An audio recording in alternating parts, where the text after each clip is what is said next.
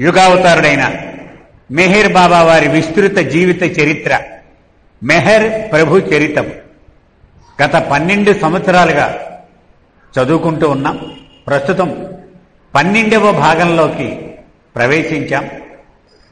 గత వారం మనం ఎక్కడ ఆగామో ఒక్కసారి గుర్తు చేసుకొని ఈ వారం విషయం చదువుకుందామండి. పంతొమ్మిది వందల యాభై ఐదవ సంవత్సరము నవంబరు మాసములో నాలుగు ప్రధాన భాషా బృందాలను ఆహ్వానించి తన సహవాస భాగ్యాన్ని వారందరికీ ప్రసాదిస్తూ ఉన్నటువంటి సందర్భం. ముఖ్యంగా మొట్టమొదటి గుజరాతీ బృందం అయిపోయింది. రెండవది తెలుగు బృందం అది కూడా అయిపోయింది.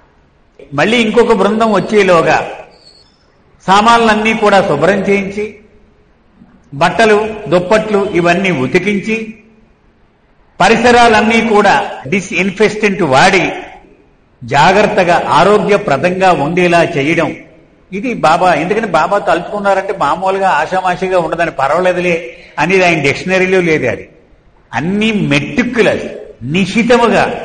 వాళ్ళతో చేయించడమే కాదు వాళ్ళు చేస్తున్నారా లేదా పర్యవేక్షణ చేయడం కూడా అది బ్రహ్మ ప్రళయమే ముఖ్యంగా ఈ సహవాసులు వెళ్ళిపోయారు. నెక్స్ట్ బృందం వచ్చేలోగా మండలి వాళ్ళంతా బిజీగా ఉండగా తక్కున ఊడిపడ్డాడు బాబా మెహరాజాది నుంచి ఆయన రాగానే ఎవడూ రాలేదు.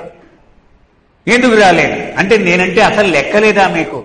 అని మిమ్మల్ని అందరినీ చెప్పించేస్తాను. రోజుకు ఒక పూటే భోంచేయండి మీరంతా వేస్ట్. ఇదంతా ఒక పరంపరలాగా నడిచిపోయింది. నెమ్మదిగా పాత్రి అన్నాడు ఎవడి పనిలో వాడు మునుగుండండి. అవతరు అయితే నేనే పిలుస్తానని గతంలో ఒకసారి నువ్వు చెప్పావు. అంచేత వస్తే ఏం ప్రమాదము అని మేము రాలేదు. అంతేగాని నీకు అమర్యాద చూపించాలని మా ఉద్దేశం కాదు అని చెప్పాడు. బాబా ఈరిచని సాక్షివాడు గారు ఎవరా నిజమేనా? నేను అలా చెప్పానా గతంలో? నువ్వు ఇదే మాటలు వాడుండకపోవచ్చు కానీ నీ మాటల భావం అయితే గతంలో ఇలాగే చెప్పావు నువ్వు అని అడిగారు అయితే మీదే కరెక్ట్ నాదే తప్పన్నారు. గుస్తాజ్యని పిలిచారు నా చెవి మెలిపెట్టు ఆ సెక్షన్ నేను తీసుకుంటాను. అని కూడా బాబా చెప్పారు. చెప్పి ఇంకా ఏమన్నారు? ఇప్పుడు మళ్ళీ ఖచ్చితంగా చెప్తున్నాను. నేను ఎప్పుడు వచ్చినా మీరందరూ అన్ని పనులు పక్కన పెట్టి ఇక్కడికి రావలసింది అని కూడా మళ్ళీ కొత్త ఆర్డర్స్ ఇస్తున్నాను. మళ్ళీ దీనిలో సందేహం ఏమీ లేదు మీకు అని చెప్పడం జరిగింది. ఇక్కడికి మనం పోయిన వారం చెప్పుకున్నాం. అలాగే ఆంధ్రులు వెళ్ళిపోయిన కొంతమంది వాలంటీర్స్గా ఉన్న వాళ్ళు నాలుగు బృందాలకి సరిపడా పనిచేస్తూ ఉన్నారు. డాక్టర్ కనకదండి సూర్యనారాయణ గారిని ఏలూరు ఆయన. ఆయన డాక్టర్గా ఆయన డ్యూటీ చేస్తున్నాడు. అన్ని నాలుగు భాషా బృందాలకి కూడా పనిచేస్తున్నాడు. అతన్ని పిలిచారు అతను కూడా ఈ డిస్పెన్సరీలన్నీ శుభ్రం చేయించడం పనిలో ఉన్నాడు ఆయన. పిలిచి నువ్వు చాలా మనగాడైన ప్రేమికుడు అని నేను విన్నాను. నాకు చాలా సంతోషం అనిపించింది. నచ్చావు నువ్వు నాకు అని పిలిచి ఆలింగనం చేసుకున్నారు. అప్పుడు అతను అన్నాడు బాబా నీ పట్ల నాలో ఉన్న ప్రేమ ఒక రిక్వెస్ట్ ఉంది నాకు అన్నాడు. ఏమిటి? అన్నారు. మేము అనేక తప్పిదాలు చేస్తూ ఉన్నాం కదా మండలి వాళ్ళే కాదు మేము కూడా. సో మా తప్పిదాలకి క్షమించమని నిన్ను అభ్యర్థించమని నా ప్రేమ కోరుతూ ఉంది అన్నారు. శబాష్ అన్నారు బాబా. సరే అది అయిపోయిన తర్వాత పాత ఆర్డర్స్ కోపంలో నేను ఇచ్చిన ఆర్డర్స్ ఉన్నాయి కదా అవన్నీ క్యాన్సిల్ చేసేస్తున్నాను. వర్రీ అవ్వకండి అని మళ్ళీ బాబా చెప్పారు. భోజనాలు పూర్తి చేసుకుని మధ్యాహ్న సమయానికి అందరూ బాబా దగ్గరికి వచ్చారు. అప్పుడు బాబా ఇలా చెప్పారు. గుజరాతీ బృందం మొట్టమొదటి వచ్చింది కదా. వాళ్ళందరూ ఇక్కడికి వచ్చిన తర్వాత కాశ్మీర్ ఒక పిక్నిక్ వెళితే ఎంత తేలికైన హృదయంతో తిరిగి వెళ్తారు. అలాగ వాళ్ళు వెళ్ళారని నాకు వర్తమానం వచ్చింది. నాకు చాలా సంతోషం అనిపించింది. దానికి ఏమిటి కారణము? బాబాయ్ చెప్తున్నారు స్వయంగా. అంటే నేను ఇచ్చిన ఆధ్యాత్మిక వివరణలు అనుకుంటున్నారా? అవేం కాదు. నా సన్నిధానము అంత గొప్ప అదృష్టము. నా సన్నిధానములోకి ఉంటే ఒక బ్లాటింగ్ పేపర్ని సిరా పడిన చోటు పెట్టామనుకోండి మొత్తం సిరా అంతా పీల్చేస్తుంది శుభ్రం అయిపోతుంది అక్కడ. అలాగే నా సన్నిధానము మీకు ఉపశమనం చేసేసింది మీ బరువంతా తీసేసుకుంటుంది అది. తేలికైన హృదయాలతో మీరు తిరిగి వెళ్ళేలా మీకు దోహదపడుతుంది అని బాబా వివరణ ఇచ్చారు. అలాగే నెక్స్ట్. తివాచి మీద నడుస్తూ బుక్కు మోసుకున్నారు బాబా. నేను పోయినసారి చెప్పాను. ఇలా నడుస్తూ ఉంటే ఆ రేగేటువంటి ధూళి వల్ల నాకు దగ్గు జలుబు రొంప ఇవన్నీ వచ్చేస్తాయని మీకు ఎన్నోసార్లు చెప్పాను. మీరు ఎందుకు జాగ్రత్త వహించారు? చూడండి నేను నడుస్తుంటే ధూళి రేగుతూ ఉంది. మేనేజర్ ఎవరు? ఫ్రెండు అని పిలిపించండి అన్న వచ్చాడు. ఏమో ఇలాగైనా శుభ్రం చేయడం అన్నారు. ఇదేంటి బాబా? రోజు శుభ్రం చేస్తున్నాను. ముఖ్యంగా రోజు కార్పెట్లు శుభ్రం చేసే డ్యూటీ బావు సిద్ధు. అంటే పేర్లు కొంచెం అలవాటు పడాలండి మరి. మన పన్నెండేళ్ళ నుంచి మనం చదువుకుంటూ ఉన్నాం కదా? ఒక ఉదాహరణని పదే పదే చెప్పుకుంటూ ఉంటాం. అమ్మాయిని కొత్త కుటుంబంలోకి మనం పెళ్ళి చేసాం అనుకోండి. ఒక నెల రోజుల తర్వాత ఒక యాభై పేర్లు చెప్పుద్దాం. అమ్మ ఈవిడ నా ఆడపడుతుంటది ఈవిడ నా అంటది ఇవన్నీ. మరి మనం ఎందుకు చెప్పలేకపోతున్నాం? మరి ఆ పిల్ల మామూలు మానవుల గురించి చెప్తోంది. మరి దైవీ మానవుడికి సంబంధించిన మనుషుల గురించి మనం ఎందుకు గుర్తు పెట్టుకోలేకపోతున్నాం? శ్రద్ధ లేక. ఇందులో ఇంకొక అభిప్రాయం ఉంటుందని నేను అనుకోను. అంటే తగినంత శ్రద్ధ చూపెడితే మనకు వీళ్ళంతా బంధువులే మన తండ్రికి బంధువులు అయితే మనకు బంధువులు కదా. అని చెప్పి కొంచెం శ్రద్ధ పెడితే తప్పకుండా ఇవన్నీ అలవాటు అవుతాయి సో ఆ భావుని సిద్ధుని రమన్నారు వాడిని మీరు ఎలా శుభ్రం చేసినారు నాకు చేసి చూపించండి అన్నారు. పది మంది పని వాళ్ళని పిలిచారు. ఇదంతా పెద్ద కార్పెట్ అది. మామూలు కార్పెట్ కాదండి. దీన్ని అంతా మోసుకొని బయటకు వెళ్ళారు. పెద్ద పెద్ద కర్రలు తీసుకొని గట్టిగా కొడుతూ ఉన్నారు. ఎండలో వేసి బాబా ఇదంతా చూస్తూ ఉన్నారు. ఈ పెండుకి కోపం వచ్చింది. ఎంత అలాగ చేస్తున్నాం మేము కాయ కష్టం గొడ్డులాగా ఈ చూస్తే ఏదీ నచ్చలేదు అంటున్నాడు ఎలా పడ్డం ఇంతో అని పెండు. ఎందుకని మరి మానవ మాతృలే కదా వాళ్ళు? వాళ్ళ జీవితాల్ని ఎంతగా అంకితం చేసేసినా మరి వాళ్ళకి మానవుడికి ఉన్నటువంటి కోపం ఇవన్నీ ఉంటాయి కదా. చాలా కోపంగా పెండు చూసి ఇంకా గట్టిగా కొట్టాడు ఇంకా గట్టిగా కొట్టండి అన్నాడు. బాబా అన్నారు మీరు ఎంత గొప్పగా చేసినా నాకేం ఇంకా చాలలేదు అని నచ్చలేదని. అప్పుడు బాబా శాంతించి చెప్పారు మీరు ఎలాగైతే ఈ ప్రపంచంలోని వ్యవహారాలను చూస్తున్నారో నేను కూడా అలాగే చూడాలని మీరు అనుకుంటే మీరు పప్పులో కాలేసినట్టే. అంటే మీలో ఒకరిగా నన్ను జమ కట్టేసినట్టే లెక్క. చికాకు పడ్డం ఈ తివాచీని బాగు చేయలేదు అనడం ఇవన్నీ బాహ్యంగా మీకు కనపడేటువంటి విషయాలు మాత్రమే. కానీ ఇలాగూ చికాకు పడ్డం ద్వారా ఆంతరికమైన కార్యాన్ని నెరవేరుస్తున్నాను అది మీకు ఎప్పటికీ అర్థం కాదు. మీకు నేను చెప్పలేను కూడా. అంటే ఆయన యొక్క కోపం ప్రదర్శించడంలో ఎంతో లోతైన అర్థం ఉండొచ్చు. అది మనకి ఎప్పటికీ అర్థం కాదు అన్నారు. సరే వెళ్ళి ఎవడి పనులు వాళ్ళు చూసుకోండి అన్నారు. వెళ్ళిపోయారు వెళ్ళి. కానీ బాబా మాత్రం ఆ పక్కన నిలబడి చూస్తున్నారు వెళ్ళి. ఎవడెవడు ఏమేం పని చేస్తున్నారో. బాబుజీ హడావుడిగా ఒక బకెట్తో నీళ్ళు మోసుకుపోతున్నాడు ఇలా రావోయ్ అని పిలిచారు. నీకు నేను అప్పగించిన పని ఏమిటి నువ్వు చేస్తున్నది ఏమిటి నేనేం చెప్పాను? ఈ ఇరవై మంది పది మంది వర్కర్స్ ఉన్నారు. వాళ్ళు సజావుగా వాళ్ళ పని వాళ్ళు చేస్తున్నారా లేదా చూడమని చెప్పాను కానీ నువ్వేం చేస్తున్నావు? ఒక పనివాడి కింద పని చేస్తున్నావు. నీ డిగ్రీ ఏమిటన్నా ఒకసారి చెప్పన్నారు. ఎంఏ అడ్మినిస్ట్రేషన్ అన్నాడు. ఎవడిచ్చాడురా నీకు డిగ్రీ?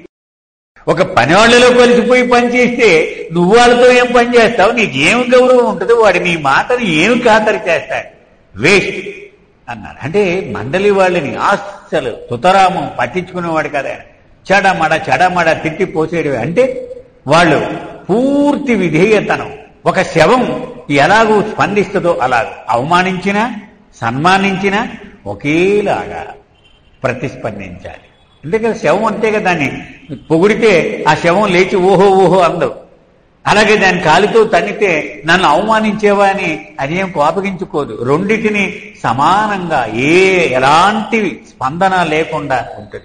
అలాగూ తన శిష్యుల్ని తయారు చేస్తూ ఉన్నారు బాబా. సరే మెహరాబాద్ తిరిగి వెళ్ళిపోవాలి బాబా. నాకు ఆకలిస్తుందో. అక్కడ ఏవో అరటిపళ్ళు కనబడుతున్నాయి. ఒక అరటిపండు పెట్టండి అన్నారు. అంటే సిద్ధు అక్కడికి వెళ్ళాడు. అవన్నీ బాగా ముగ్గిన అరటిపళ్ళు బ్రహ్మాండమనే ఉన్నాయి. కానీ బలంగా ఉన్న గెల నుంచి పచ్చి అరటిపండు ఒకటి లాగాడు లాగి బాబాకి ఇచ్చాడు ఏమిటి ఇది? తినడానికి పనికొస్తుందా? అని అప్పుడు ఒక ముఖ్యమైన విషయాన్ని మీకు చెప్తానన్నారు బాబా. నేను శరీరం విడిచిపెట్టాక సుమారు అరవై ఏళ్ళు అయిన తర్వాత వేల సంఖ్యలో నా ప్రేమికులు ఇక్కడికి వచ్చి ఏం చేస్తారో తెలిసే వాళ్ళు? ఇక్కడ ధూళి సంచిల్లోకి ఎత్తుకుని మోసుకుపోతారన్నారు. ఎందుకని? ప్రభు యొక్క స్పర్శతో పవిత్రమైనటువంటి ఈ ధూళి అని. అసలు నేనేం చేసి ఉండాల్సిందంటే మీరు నీళ్ళతో స్నానం చేయకుండా ఇక్కడ ధూళితో స్నానం చేయమని చెప్పుంటే మీకు వంట పట్టు ఉండేది. అంటే నాతో కలిసి జీవించడము నా ఆజ్ఞలను అమలుపరుస్తూ ధన్యులవ్వడం ఎంత గొప్ప మీకు అప్పుడు అర్థమై ఉండేది. మీకు వంట పట్టడం లేదు అని బాబా చికాకు పడ్డాడు ఒంటి గంట నలభై ఐదు పావుదక్కు రెండు కల్లా బాబా మెహరాజా తిరిగి వెళ్ళిపోయారు. నవంబర్ పంతొమ్మిది అంటే ఒకరోజు ముందనమాట. ఈ హిందీ బృందం వాళ్ళ సహవాసం ఒక్కరోజు ముందు. అప్పుడు నూట అరవై నాలుగు మంది హిందీ వాళ్ళు రావాలి అని మనం ముందుగా చెప్పుకున్నాం.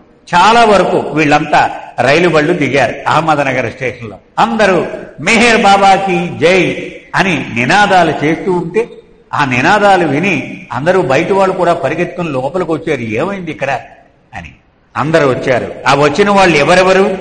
హమీర్పూర్ జిల్లాల నుంచి ఎక్కువ మంది వచ్చారు. అలాగే కాన్పూర్ అలీగర్ ఢిల్లీ డేరాడూన్ ఇంకా మధ్య భారతం. ఆగ్రా నుంచి ఇంకా గ్వాలియర్ నుంచి భోపాల్ నుంచి ఇలా అనేక ప్రాంతాల నుంచి వచ్చారు. ఇక మర్నాడు ఇరవయో తారీఖు సహవాసం మొదలవుతుంది హిందీ బృందానికి. ఉదయం ఏడు పావు కల్లా బాబా వచ్చేశారు. వచ్చేసి ఒక పావు గంట పాటు తన క్యాబిన్లో కూర్చొని మండలి వాళ్ళకి పనులన్నీ పురమాయించారు. అన్ని సజావుగా అయినయ్యా వేణీడు ఇచ్చారా స్నానానికి? టిఫిన్ టైంకి ఇచ్చారా? ఇలాగ ఆయన ఆయన స్టైల్ అయిందే. రోజు ఎందుకంటే ఇదంతా? మన స్టైల్ ఇది. ఆయన స్టైల్ మాత్రం కాదు. ఏ రోజుకి ఆ రోజు కొత్తే. ఒక ఇరవై నిమిషాల తర్వాత ఏడున్నరకు సుమారుగా లోపలికి వచ్చారు. హిందీ వాళ్ళు అందరూ ఉన్నారు. వాళ్ళు బాబాకు దండలు వేయడం మొదలుపెట్టారు. ప్రొఫెసర్ నిరంజన్ సింగ్ అని ఢిల్లీ నుంచి ఆయన వచ్చాడు ఈ పేరు కూడా అనేక సార్లు చెప్పుకున్నాం మనం. అతను ఇంటలెక్చువల్ జెయింట్ అనేవారు బాబా. మహామేధావి అనమాట అతను బాబా దగ్గరికి వచ్చినప్పుడల్లా అనేక ప్రశ్నలు సంధిస్తూ ఉండేవాడు. వాటికి ఓపికగా బాబా సమాధానం ఇస్తూ ఉండేవారు. అలా బాబా ఇచ్చిన సమాధానాలు ఎవ్రీథింగ్ అండ్ నథింగ్ అనేటువంటి ఒక గ్రంథం రూపంలో చాలా ప్రాచుర్యం చెందింది అది. నిరంజన్ సింగ్ అనేవాడు అడిగిన ప్రశ్నలకు బాబా ఇచ్చిన సమాధానాలు అవన్నీ. అతను వచ్చాడు. రాగానే ఏదిగా దండేది? నీ చేతుల్లో అన్నారు. బాబా నేను తేలేదన్నాడు. ఏం పర్వాలేదని తన మెళ్ళలో ఉన్న దండను ఒక దాన్ని ఇచ్చి ఇది మళ్ళీ నాకు వేసి అన్నారు. అంటే చూడండి ఆయన తమాషా. వాడు మళ్ళీ నిరుత్సాహపడకుండా బాబాయే దాని మోక్షం ఇస్తూ ఉండేవాడు.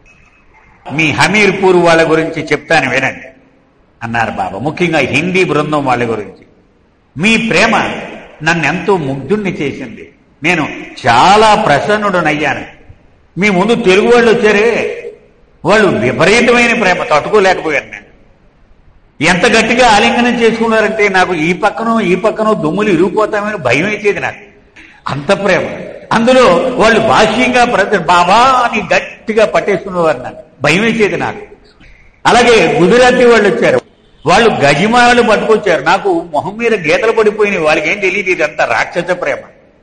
కానీ మీరు మాత్రం ఎంత సున్నితమో. నాకెక్కడైనా దెబ్బ తగులుతుందేమో బాబా శరీరం కందిపోతుందేమో అని నెమ్మదిగా ముళ్ళు గుచ్చుకోకుండా చిన్న చిన్న సు- సుకుమారమైనటువంటి పువ్వులు ఏరి ఆ దండలు తెచ్చారు. అద్భుతం. ఇది నాకు కావలసింది. నా మీద మీ దృష్టి ఉండాలి. అంతేగాని మీ ప్రేమను ప్రదర్శించడం మీదే మీ దృష్టి ఉంటే అది మనం ఆంధ్రదేశం గురించి ఇరిచ్ వీళ్ళంతా చెప్తూ ఉంటారు. భయం వేసేటట్టు వాళ్ళకి మన ప్రేమను చూసి. ఎందుకని ఆయన చూసిన ప్రేమాతిశయంలో మర్చిపోయి హారతులు ఆయన బా- బాబా కళ్ళు రెప్పలు కాలిపోతూ ఉండేవట. భయపడి గబుక్కుని వెళ్ళి ఆ దూరంగా తీస్తూ ఉండేవారు. అలాగే కొబ్బరికాయలు పట్టుకుని వచ్చేస్తూ ఉంటే బాబా పాదాల మీద కానీ కొట్టేస్తారేమో ఎందుకు దేవుడు కదా ఆయనకేం అవ్వదని. జాగ్రత్త జాగ్రత్త అని ఒకరికొకరు జాగ్రత్త చెప్పుకుంటూ ఉండేవారు. అంటే అంత మంది రాక్షస ప్రేమ మన గొడవే కానీ ఆయన గొడవ లేదు మనకి. కానీ ఆ హిందీ వాళ్ళు మాత్రం అలా కాదు అని బాబా చెప్పారు. అయితే ఇలాగ బాబా చెప్పగానే నవరంగా నుంచి హేరాలాల్ అని వచ్చాడు. బాబా పాదాలు ముట్టుకుందామని అతన లోపల ఆవేదన. కానీ బాబా చూస్తే మీరంతా ఎక్స్పర్ట్. మీరు సున్నితంగా ఉంటారని చెప్పగానే అతను ఏం చేయాలో అర్థం కాలే అతనికి. ముందుకు ఊరికి బాబా పాదాలు ముట్టుకోవాలా? పక్కకుండిపోవాలా కన్నీళ్ళు కారుస్తూనే పక్కన ఉన్నాడు. ప్రతి ప్రేమికుడికి తన ఆలింగన భాగ్యాన్ని బాబా ప్రసాదించారు. మధ్య మధ్యలో ఆట పట్టిస్తూ ఉండడం బాబా స్టైల్. ఆయన ఏమి సీరియస్గా ఇలాగా దేవుళ్ళాగా ఉండిపోవడం అలాగేమో ఆయనకి ఇష్టం ఉండదు అలాగా. ఆట పట్టిస్తూ ఉండడం. ఉదాహరణకి పుకారు వచ్చాడు. ఓహో! ఏమో గడ్డం తీసుకోలేదు ఏమిటి పూరీలు బాగా లాగించేవాడు రాత్రి? అన్నారు బాబా. అతను కూడా తమాషా జోడిస్తూ ఏమి లాగించాను బాబా? రొంప సరిగా తినేవలేదు పదిహేను పూరీలే తిన్నాను నేను. అతను కూడా తమాషాగా అయితే బాబాకి వినోదం అంటే చాలా ఇష్టం. ఓ పదిహేనే తిన్నావా? నీ కెపాసిటీకి చాలా తక్కువేలే. అన్నారు. ఏమిటి రొంప చేసిందని కదా అన్నావు? మరి నన్ను ఎందుకు ఆలింగనం చేసుకున్నావు? నీ రొంప నాకంటిద్దామనా? అన్నారు బాబా సరే మరొకడు వచ్చాడు. ఓ పోయినసారి ఎలా ఉన్నావో? యాజ్ ఇట్ ఈజ్ అలాగే ఉన్నావో శబాష్ అన్నారు బాబా. అయితే దౌలత్ సింగ్ దూరంగా నిలబడి కన్నీళ్ళతో అలా రోధిస్తూ ఉన్నాడు.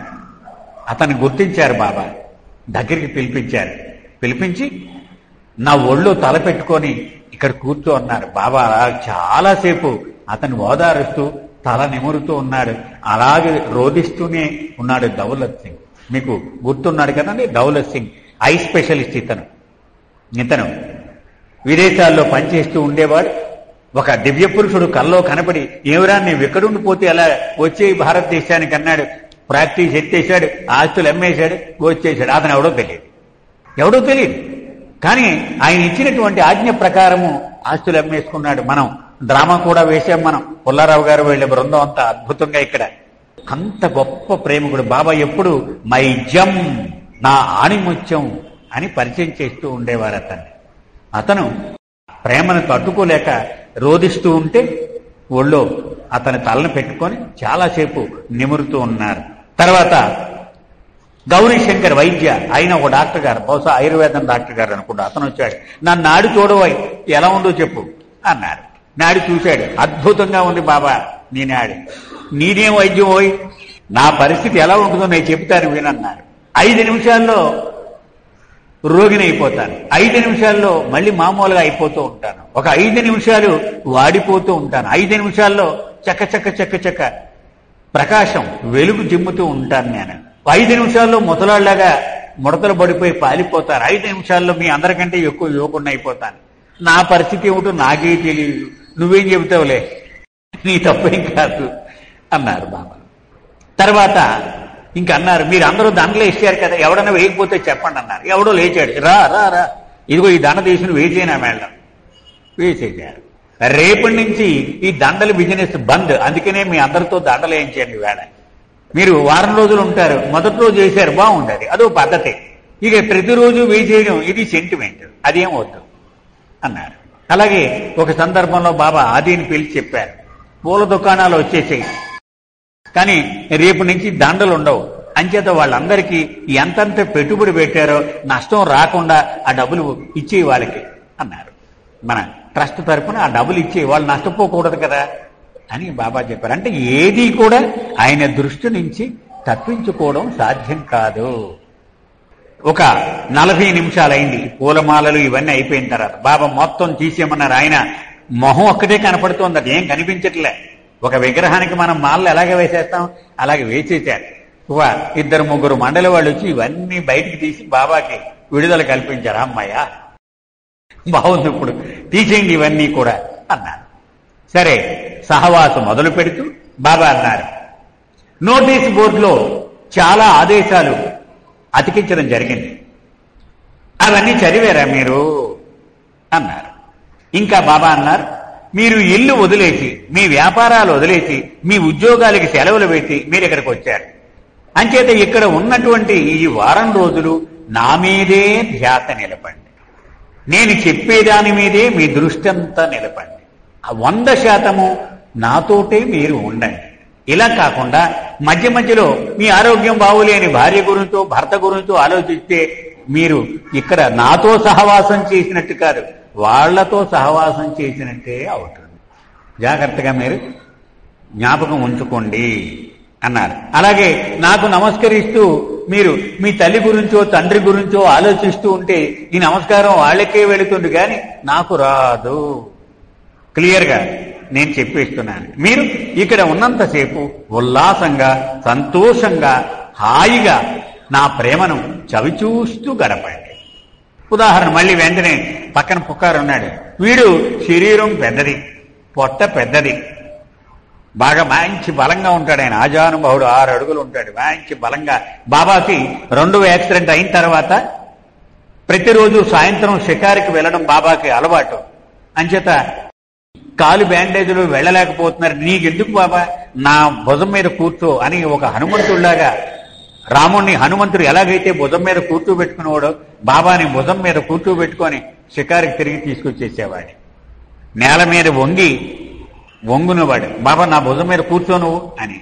బాబా కూర్చుంటే అప్పుడు నిలబడి ఆయన మోసుకొని తిరుగుతూ ఉండేవాడు హీఈ్ మై హనుమాన్ అనేవారు బాబా. వీడు నా హనుమంతుడు అని. అంత గొప్ప ప్రేమికుడు. పొకార్స్ డైరీ అనేటువంటి ఒక పెద్ద గ్రంథాన్ని కూడా మనం చదువుకున్నాం బుక్ రీడింగ్లో ఎంతోమంది అదృష్టవంతులు విన్నారు కూడా.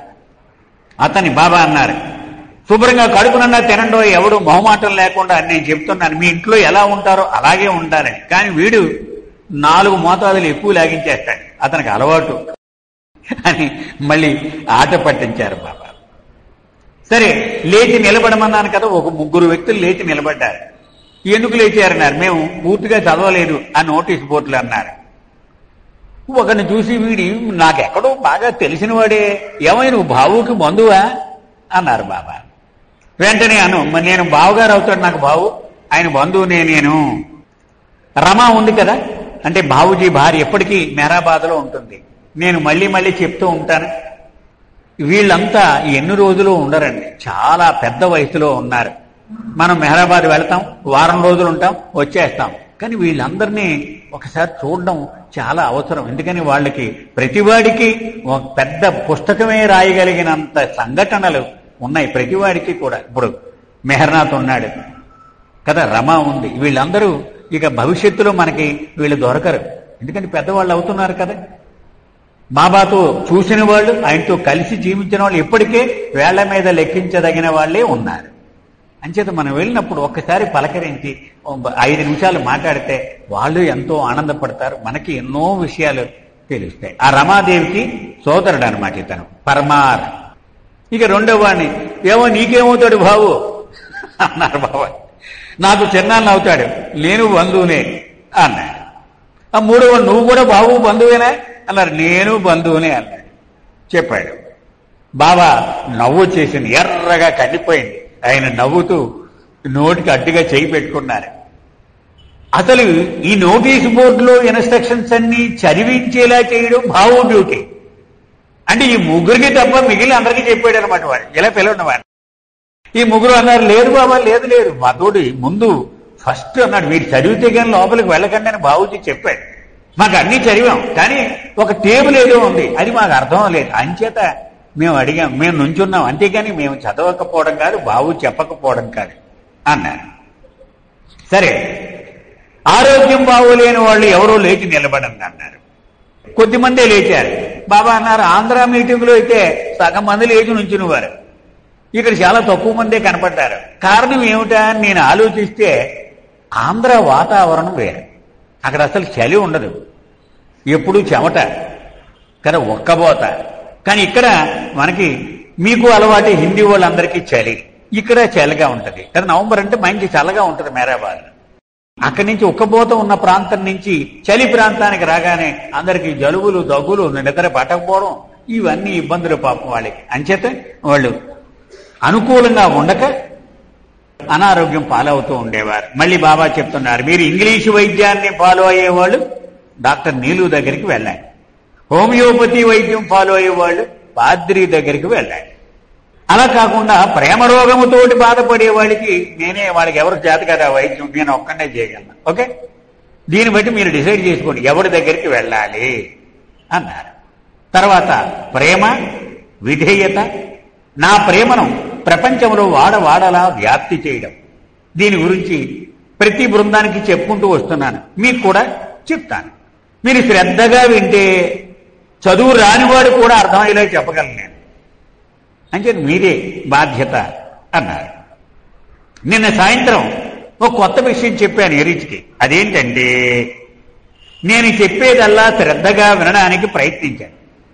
లేదు కొనుక్కోట్లు వచ్చేస్తున్నాయి అనుకో నా ఎదురుగా కూర్చోకండి మీరు. బయట బెంచీలు వేయించాను ఆ బెంచీల మీద కూర్చోండి ఎందుకంటే మీ మొహాలు చూస్తూ ఉంటే నాకు ముందుకు వెళ్ళలేదు నేను.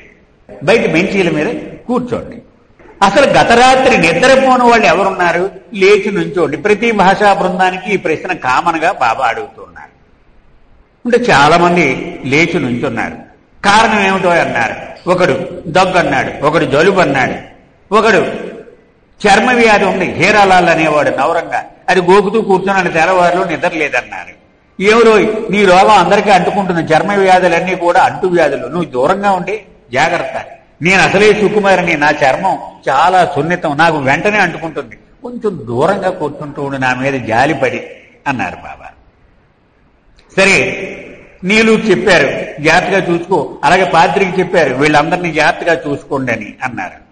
అని నేను ప్రేమమూర్తిని మీరంతా నా ప్రేమికులు అనుకున్నాను ఇన్నాళ్ళు సో నా మీద ప్రేమ వల్ల నిద్రపోకుండా కనీసం ఒకడన్నా ఉంటాడేమో అని ఆశించాను. ఒకడు లేడనమాట సరే నా తలరా తల నా కారణంగా నిద్రపోయినటువంటి వాడు ఒకడు లేడనమాట ఓకే పోర్లే అప్పుడు ప్రేమ గురించి సుదీర్ఘంగా వివరించి చెప్పారు బాబా. పుస్తకాలు చదవడం వల్ల ఉపన్యాసాలు వినడం వల్ల ప్రేమ ఎవడికి పుట్టదు. ఫస్ట్ పాయింట్ ఇది. చాలా ఇంపార్టెంట్ పాయింట్ ముఖ్యంగా పాశ్చాత్య దేశాల్లో ఒక జరిగిన సంఘటన మీకు మనవి చేస్తా. ఇందులో లేదని బాబా అమెరికా వెళ్ళినప్పుడు ఒక ప్రముఖ బాబా ప్రేమికురాలు ఆవిడ. ఆవిడ నా ఫ్రెండ్ ప్రొఫెసర్ ఒకడున్నాడు. వాడిని పిలుస్తాను బాబా. వాడికి అనుమతి ఇవ్వమని అడిగింది ఆవిడ. బాబా సరే రమ్మన్నారు వాడు. వచ్చాడు. వాడు ఒక పెద్ద లిస్టు పట్టుకుని వచ్చాడు. ఒక్కొక్క ప్రశ్న వేస్తూ ఉన్నాడు బాబా సమాధానం చెప్పాలి. అంటే బాబా ఒక ఫ్రాడ్ అని వాడి నమ్మకం. అది రుజువు చేయాలి నా మేధస్సును ఉపయోగించి అనుకుని వచ్చాడు అతను. పాపం ఈవిడికి తెలియదు అమాయకురాలు. ఆవిడ వస్తాను బాబా దర్శనం కంటే రమ్మంది ఆవిడ. ఒక ప్రశ్న వేశాడు. పాపం ఓపిగ్గా బాబా సమాధానం చెప్పాడు. చెప్పాక నచ్చిన దానికి సమాధానం అన్నారు. క్రైస్ట్ ఎప్పుడో చెప్పాడు ఇది నీకంటే బాగా చెప్పాడు అన్నాడు. నెక్స్ట్ ప్రశ్న అడిగి అన్నారు. నెక్స్ట్ ప్రశ్న అడిగాడు బాబా ఓపిగ్గా సమాధానం చెప్పారు. కృష్ణుడు గీతలో చెప్పేశాడు ఇదంతా పాశ్చంతకాయే నువ్వు చెప్పారు కొత్త కాదన్నాడు. ఆవిడ నొచ్చుకుంటోంది. ఇతన్ని పిలుచుకొచ్చిన ఆవిడ ఇదేమిటి? వీడేదో దర్శనం కోసం నేను రికమెండ్ చేస్తే ఇలా అడుగుతున్నాడు ఏమిటి వీడు? అని బాబా అని ఏదో చెప్పబోయింది ఆవిడే. నేను అలా పిలవలేదు అని. బాబా అన్నారు వాణ్ణి కానీ నువ్వేం కంగారు పడకన్నారు. ఇలా కాసేపు ప్రశ్నలు అయ్యాక ప్రతిసారి ఇది అంటున్నాడు. ఏం కొత్త కాదు. నథింగ్ న్యూ అంటాడు. దగ్గరికి రమ్మని పిలిచారు. దగ్గరికి వచ్చాడు. అతని తల మీద ఇలా చేయి పెట్టారు. పసివాడిలాగా వెక్కి వెక్కి ఏడుస్తూ బాబా పాదాల మీద పడిపోయాడు. దిస్ ఈజ్ న్యూ ఎప్పుడూ కూడా గతంలో నేను ఎరుగినటువంటి కొత్త అనుభవం ఇది అని ఆ కన్నీళ్ళ మధ్యలో ఆ సభలో అందరికీ డిక్లేర్ చేశాడు ప్రేమ గురించి ఉపన్యాసాలు దంచే వాళ్ళని చాలా మందిని నేను చూశాను నా జీవితంలో. వ్యాఖ్యానాలు చెప్పే వాళ్ళని కూడా ఎంతో మందిని చూశాను. కానీ అభ్యాసం చేసిన తొలి వ్యక్తిని మెహర్ బాబాలో చూశాను. ఆయన అభ్యాసం చేయడం మాత్రమే కాదు తన స్పర్శ ద్వారా ఎవరికైనా ఆ ప్రేమ అనుభవాన్ని ఇట్టే ఇచ్చేయగలిగినటువంటి గొప్ప నిపుణుడు ఆయన. ఈయన పాదాల దగ్గర నా జీవితాన్ని అంకితం చేసేస్తున్నాను అని డిక్లేర్ చేశాడు. అది బాబా చెప్తున్నది. ఉపన్యాసాల ద్వారా ప్రేమ రాదు. పుస్తకాలు ఔపోసన పట్టేసి కంఠస్థం బట్టి అప్పగించేయడం శ్లోకం తర్వాత శ్లోకం దీని ద్వారా ఏమి రాదు ఈ ప్రేమ అని బాబా చెప్తూ ఉన్నారు స్పష్టంగా. ప్రేమకు బుద్ధికి భూమికి ఆకాశానికి ఉన్నంత వ్యత్యాసము ఉన్నది. ఇది మీరు గుర్తించండి. బుద్ధి ద్వారా తెలివి ద్వారా ప్రేమను ఎప్పటికీ పుట్టించలేవు. ప్రేమ కావాలంటే మొట్టమొదట ఈ బుద్ధిని పెకలించి వేళ్ళతో సహా బయటపారేయాలి అప్పుడు నీకు ప్రేమ వస్తుంది. ఒక మహాపండితుడు ఒక వేలుముద్ర వేసేటువంటి నిరక్షరాస్యుడు ప్రేమించడానికి సమానంగా అర్హత కలిగి ఉన్నవాళ్ళే. ఒక్కొక్కసారి నీ బుద్ధే అడ్డమైపోతూ ఉంటుంది. ప్రేమించడానికి నష్టం కలిగిస్తుంది నీకు అని కూడా బాబా చెప్పారు. బాబా చెప్పిన మరొక కథ కృష్ణావతారంలో జరిగింది. ఈ సందర్భంగా ఒకసారి మీకు మనవి చేస్తాను. కృష్ణుడు ద్వారకలో ఉంటూ పరిపాలన సాగిస్తూ ఉండేవాడు. కానీ ఏడాదికి ఒక్క నెల అతను బ్రేక్ తీసుకొని మధుర దగ్గరలో ఉన్నటువంటి బృందావనం అక్కడ అతను చిన్నతనంలో పెరిగాడు. అమాయకులైనటువంటి గొల్లల మధ్యలో అక్కడికి వచ్చి నెల రోజులు అక్కడ బృందావనం అనేటువంటి గార్డెన్లో ఆయన గడుపుతూ ఉండేవాడు. ఒక్క గొల్లలకు మాత్రమే అమాయకులైనటువంటి ప్రేమికులకు మాత్రమే ప్రవేశము. మిగిలిన వాళ్ళు ఎవరికి ప్రవేశం లేదు. అంత హాయిగా వాళ్ళతో కలిసి కళ్ళు తాగుతూ మజ్జిగ తాగుతూ పాలు తాగుతూ వెన్న తింటూ హాయిగా గడిపేస్తూ ఉండేవాడు. ఎంట్రీ పాయింట్లో తనకి అతి నమ్మకస్తుడైనటువంటి ఒక కుంటివాడు పాపం ఆయన పిండు. బాబా చెప్పిన కథ ఇది. అతన్ని కాపలా పెట్టారు. ఎవరిని లోపలికి రానివ్వకరా? చిన్న పురుగు కూడా రాకూడదు.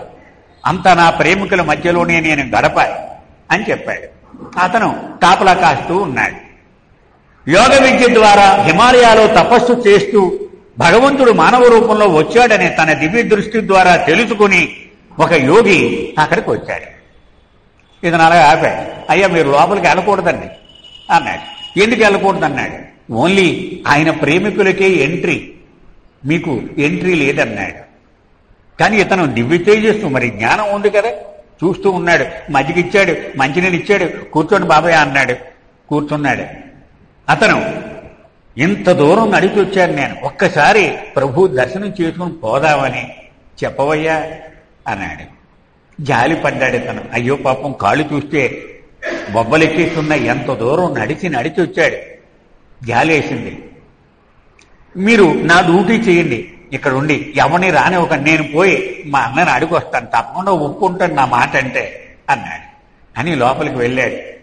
దూరంగా నుంచుని అన్నా అన్నాడు. పో పోయి నీ డ్యూటీ చేయి. నన్ను డిస్టర్బ్ చేయక అన్నాడు. వచ్చేసాడు ఇక ఆ మూడు చూసేటప్పటికి ఒప్పుకునేలా లేడు. వచ్చేసాడు వచ్చేసి అయ్యా నేను ప్రాధేయపడదామని వెళ్ళాను కానీ అస్సలు వ్యాహ నీ డ్యూటీ నువ్వు చెయ్యి అన్నాడు వచ్చేసాడు. ఇంకా లాభం లేదన్నాడు. పాపం రెండు రోజులు అలాగే కూర్చున్నాడు ఆ స్వామి. అతను చూసి చాలా గుండె తరుక్కుపోయింది. ఎలాగైనా ఈసారి ఒప్పించి వస్తాను మీరు ఇక్కడే కూర్చోండి అన్నాడు. వెళ్ళాడు దూరంగా నుంచుని చేతులు నలుపుకుంటూ ఉన్నాడు. ఏమిరా ఏమైంది అడిగాడు. చిన్న ఒక రిక్వెస్ట్ ఒక చిన్న కోరిక ఉంది నాదన్నాడు. రా దగ్గరికి రా అన్నాడు. ఏంటి అన్నాడు? ఇలా గొప్ప యోగి వచ్చాడు ఆ మొహం చూస్తేనే వెలిగిపోతూ ఉన్నాడు. అయితే ఏమిటన్నాడు? ఒక్కసారి నీ దర్శనం కావాలని అడుగుతున్నాడు. అప్పుడు కృష్ణుడు అన్నాడు వాడి జ్ఞాన సంపద అంతా కూడా అతనికి అర్హతని ఇవ్వలేకపోయింది. కానీ నువ్వు రికమెండ్ చేసేవే దీనివల్ల వాడికి అర్హతనిస్తున్నాను నేను. అంటే జ్ఞానము వలన అర్హత రాదు. నీవు రికమెండ్ చేసావు కాబట్టి నిన్ను కాదనలేక వాడికి ఒక్కసారి దూరం నుంచి నన్ను చూసి పొమ్మను అన్నాడు. ప్రేమకు జ్ఞానానికి ఇంత తేడా ఉందన్నమాట. మస్తులు ఉన్నారు. చట్టి బాబా ఉన్నాడు. కరీం బాబా ఉన్నాడు. వీళ్ళందరికీ డిస్కోర్సెస్ గారి స్పీచ్ ఇవేవీ తెలియదు కానీ ఇవన్నీ అవపోసలు పట్టేసిన వాడికి వాళ్ళు ఎదుర్కొంటా నిలబడేటువంటి అర్హత లేదు. ప్రేమ వేరు జ్ఞానము వేరు. ఇంకా బాబా ముఖ్యంగా గాడ్ స్పీక్స్ గ్రంథం గురించి ఆ రోజు చెప్పారు. గాడ్ స్పీక్స్ గ్రంథాన్ని మొట్టమొదటి నుంచి ఆఖరి పేజీ వరకు కంఠస్థం చేసేసిన వాళ్ళు చాలా మంది ఉన్నారు నా ప్రేమికుల్లో. ముఖ్యంగా బరుచా గురించి ఒక సందర్భంలో ప్రస్తావించారు కూడా. వాడు చెప్పినట్టుగా మరి ఎవ్వడు వివరించి చెప్పలేడు గాడ్ స్పీచ్ కానీ వాడికి అనుభవం లేదు. బుద్ధితోటి మాత్రమే అర్థం చేసుకున్నాడు. మీరందరూ కూడా బుద్ధును ఉపయోగించే ఆ గాడ్ స్పీచ్ని అర్థం చేసుకోగలరు. గాడ్ స్పీచ్లో నేరుగా ప్రేమ గురించి సంబంధం లేదు దానిలో. There is no love in God speech అయితే భగవంతుణ్ణి ప్రేమించడం ఎంత ముఖ్యమో అది నొక్కి చెబుతుంది అది ఇంకా నిరంజన్ సింగ్ ఇతను గాడ్ స్పీచ్ని ని బాగా ఔపోసన పట్టేశాడు. బుర్ర మేధావి కదా మరి. కానీ చాలా బాగుంది బాబా అన్నాడు అనుకో నాకేమీ సంతోషం కలగదు. కానీ ఈ పుస్తకం చదివాక నీ మీద నాకు ప్రేమ పెరిగింది బాబా అంటే నేను చాలా సంతోషిస్తాను పనికొచ్చేది ప్రేమ ఒక్కటే. ఏదైనా సరే ప్రేమించడానికి గనక దోహద పడకపోతే అది వేస్ట్. నువ్వు ఎన్ని పుస్తకాలు చదివేసినా ఎన్ని కంఠస్థం చేసేసినా ఎన్ని ఔపోసన పట్టేసినా అది నా మీద ప్రేమను ఇనుముడింపజెయ్యాలి అప్పుడే అది నీకు సహాయపడినట్టు లెక్క. లేకపోతే దానివల్ల ఉపయోగము లేదు. మరి అటువంటి ప్రేమ ఎలా వస్తుంది? ధూళిగా మారిపోయినప్పుడే అది వస్తుంది. ధూళిగా మారిపోవడం ఇందా చెప్పుకున్నాం. అవమానమును సన్మానమును ఒకేలాగా తీసుకోవడము ధూళిగా మారడం అంటే ఇది అంత ఆషామాషి కాదు. నువ్వు శ్లోకాలకు అంటస్థం పట్టేసి ఊరికే దాన్ని ఒకదంపుడుగా చెప్పేస్తున్నావు అనుకో అది ఏమి ప్రేమకు రుజువు కాదు. అనేక సార్లు బాబా ఆ హిందీ వాళ్ళకి చెబుతూ ఉన్నారు బాబా. ముఖ్యంగా ఆధ్యాత్మిక ప్రపంచంలో మూడు పనికిరాని విషయాలు ఉన్నాయి. అప్రధానమైన విషయాలు ఏమిటవి? నాకు దండలు వేయడం నాకు పూజలు చేయడం హారతులు ఇచ్చేయడం. ఈ మూడు వేస్ట్. చూడండి మనం ఇదే చేస్తున్నాం. చాలా గొప్పగా చేస్తున్నాం అనుకుంటూ ఇవే చేస్తూ ఉంటాం మనం. ఈ మూడు అప్రధానమైన విషయాలు ఆధ్యాత్మికతలో. మరి పనికొచ్చే విషయాలు ఏమిటయ్యా ఆధ్యాత్మికతలో? ప్రేమ విధేయత సర్వార్పణ. ఈ మూడు అతి విలువైనటువంటి అతి ప్రధానమైనటువంటి విషయాలు. ఇవి వివరంగా వచ్చి వరం చెప్పుకోవచ్చండి. అవతార్ మెహేర్ బాబాకి జై.